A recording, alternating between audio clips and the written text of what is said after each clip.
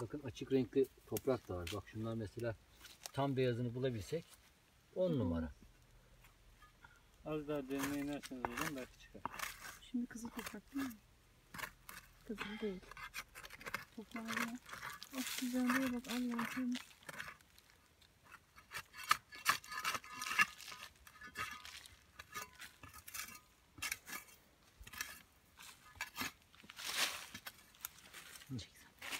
Şöyle şuradan başlayalım. Şuradan başlayalım. Bak, bir Üstüne saniye. Burayı zaten bayağı temizlemiş oluyoruz ya. Tüm katmanları göreceğiz yani. Üstünü alma sebebiniz içini görelim diye. İçini görün. Üstteki çünkü toprak bir şeyler girmiş. Ben, ben ararken de önce üst katmanı almam lazım. Bak burada kömür katmanı da var. Ne diyecektim siyah? Damar böyle. Kömür kömür. Bence buradan ayrı alınır. Bak bundan çok açık bir şey çıkacak. Yine sarının tonları çıkacak ama hiç değilse beyaz var. Belki beyaza yakın olursa. Gri, grimsi bir şey çıkacak hocam orada. Yok sarımsı çıkacak. Bak bir de bu tarafın rengine bak. Turuncu gibi bu da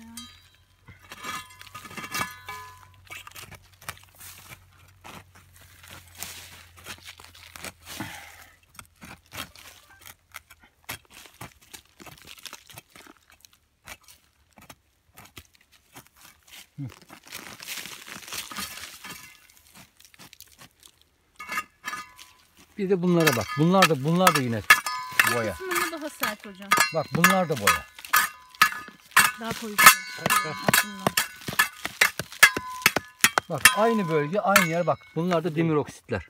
Bak bunlar da demir madenleri. Şunlar mı? Şuradaki siyah gördükleri şu an. Evet. Bak bunlar demir. Bunlar bunlar demir. Bu toprağa bu rengi veren bunun paslanmış hali. Tamam mı arkadaşlar? Yani şimdi bak nereden anlayacağım bak şimdi bak bu bak bunların tamamının aslında şekli bu. Atıyorum bak burada mesela açık bir renk var. Burada farklı bir asit oluşmuş. Burada işte ne bileyim yanardağ patlamış bilmem külü karışmış bir şey. Ama burada bak e, yine demir paslanmış. Burada bak siyah siyah kömür zannettiğimiz demirmiş. Yani buradaki tabakaya devam ediyor olduğunu görünce, burada demir olduğunu görünce renk olarak parlaklığına bak. Mıknatıs olsa buna mıknatıs tutar. Buraya şimdi mıknatıs gezdirelim. Bir sürü parçacığı mıknatıs emer. Mıknatısın üzerine bir sürü parça yapışır. Niye? E, demir var çünkü. E, şimdi bak bu demir oksitten oluşan boya renklerini sırasıyla al siz görün işte burada. He, daha tam siyahı olan yerler de çıkıyor. Tam simsiyah olup da hani bizim boya yapabileceğimiz kararmış demir bunlar da çıkıyor. Çok daha kırmızısı yani hani oksit kırmızı diye aşı kırmızı diye aldığınız kırmızı var. Tam o Evet. kırmızı olanı çıkıyor. Bu tabii işte tabiatın ortamıyla alakalı. Atıyorum şimdi çamlık bölgede bunlar daha koyu çıkabilir. Ne bileyim işte meşelik bölgede daha az rengi farklı çıkabilir. Ama bu böyle yani. Hani tabiatta bak burası boya şimdi. Nereden alıyorsun? Bak zemin nerede? Bak zemin burada. Sen nereden alıyorsun? Bir metre altında. Yarım metre altında. Şimdi buradaki kök yoğunluğuna bakın. Bak ne kadar kök yoğunluğu bak. Bak ne kadar bitki. Şimdi bunlar hala organik içerisinde bir sürü organik olduğu için bunlar boya olarak kullanılamaz. Nereden alacaksın? Artık içerisinde organik kalmamış. Ama bu toprak besliyor Mineralleşmiş. onları. He? Besliyor, Evet bunlar besliyor. E, bitkinin e, odunu nereden oluyor? Bitkisi nereden oluyor? İçinde Şimdi bu daha kalsiyum yığılmış oluyor, tabaka, demir oluyor, çink kadarıyla. oluyor değil mi bitkilerin? Evet. Hani işte bu bitkide çink olduğu için bunu tabaka orası değil tüketmemiz mi lazım. hocam? Bunda işte demir, Demir olduğu var, için bunu demir tüketmemiz tüketmemiz lazım. Bitkiler bu, bu mineralleri, madenleri Yarım nereden metre alıyor? ya da bir E, metre topraktan altına alıyor. alınıyor. Toprakta her şey mevcut. Ama yarım bitki metre kendisi çürüdüğü zaman ne hale geliyor? Kökleri Ee. Organik çürük haline geliyor, gübre haline geliyor. O gübreli kısım bizim yapacağımız işte hiçbir işe yaramaz. Bu bizim yapacak olduğumuz işe karışırsa da içerisinde çok fazla neft, terebentin gibi çok fazla çözülmüş yağlar içerdiği için sizin yaptığınız boyalarınızın rengini de yok ediyor. Daha renksiz hale getiriyor. Onun için şu yani şu tarz bölge değil. Bize neler lazım bunlar. Ve bunun rengarenk olduğu bölgeler de var. Yani sarı, kırmızı, mavi, yeşil, kahverengi, turuncu. Yani gökkuşağının renklerinin olduğu böyle katmanlar olan yerler de var. Evet. He, Düzce'de var mı? Düzce'de işte yani en güzel örnek burası. Çok güzel bir örnek yani. Çünkü bak en açık renkten en koyu renge kadar hepsi var. Bak en koyusu bir açığı, bir açığı, bir açığı, bir açığı, bir açığı gibi. Şuradaki bak ne kadar tatlı şuradaki renk. Yani bu bölgeden işte malayı koyarsanız öbür malanın ucuyla onun üzerine kazırsınız. Bunlardan alırsanız bunları boya olarak yaparsınız. Ve hiç değilse kendi yaptığınız boyalarla ebru yaparsınız. Kendi topladığınız boyalarla tesip boyalarınızı yaparsınız. Yani Türk süsleme sanatlarında kullanılan malzemeler neler? İşte bu.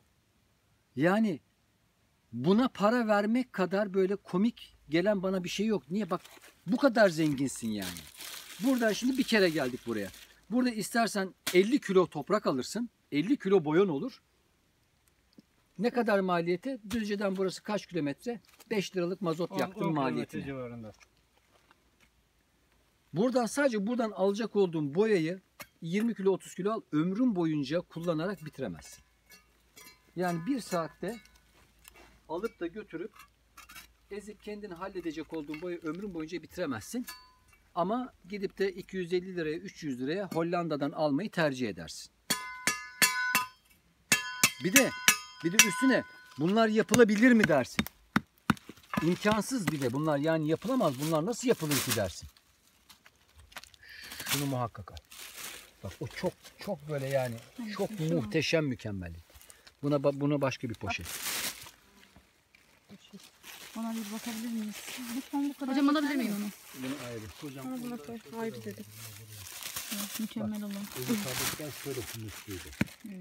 Bu humusludan daha çok bak şunlar. Bunlar da bunlarda da humus var ama asıl bunlar bizim işimize yarayacak Bak. olan. Şu Burası kısım turuncu ya, şu olan. kısım. Burayı nasıl Hocam. alacağız? Önce altı mı alalım? Bak şimdi bunlar yaş kısmı ıslak. Bunlar kuruduğunda bundan daha açık renk olacak. Değil mi? Yani buradaki renk sizi aldatır. Bir de bu, bu da var. Yani bu sebepten Şöyle bir renk mi olur şu renk hocam? Yok şimdi bak biz bunu kuru halinde ben üstünü kazdım ama kuru halinde de zaten bu renge yakın renkti ya.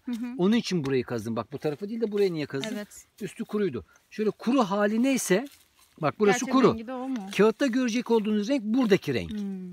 Hani buradan aldın. Altı mesela burayı bak bu, bu- buraya Şimdi bak şurayı görüyorsun mesela Evet. kağıtta görecek olduğun renk Altı şey. altı farklı Açık renk bak. Şimdi mesela buradan aldın ya bak buralar hala kuru bak ıslaklık yok. Evet. Buradan aldığın rengi bu, bu renk Oraya. olarak bunu göreceksin. Şunu alalım. Yani burada ama bak oradaki daha sert. Evet. Bunu havanda döveceksin, şey, e, evet. incelteceksin. Bu daha uzun iş. O daha mı? Burası kolay? daha yumuşak.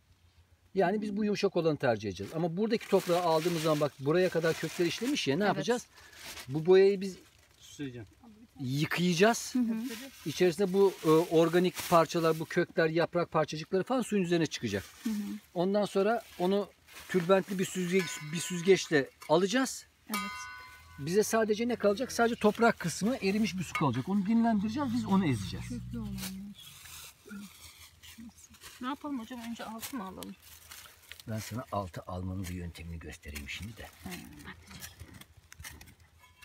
Nereden itibaren alacaksın? Şu beyaz yeri almak istiyorsun değil mi? Açık renkli yeri. Poşetini şuradaki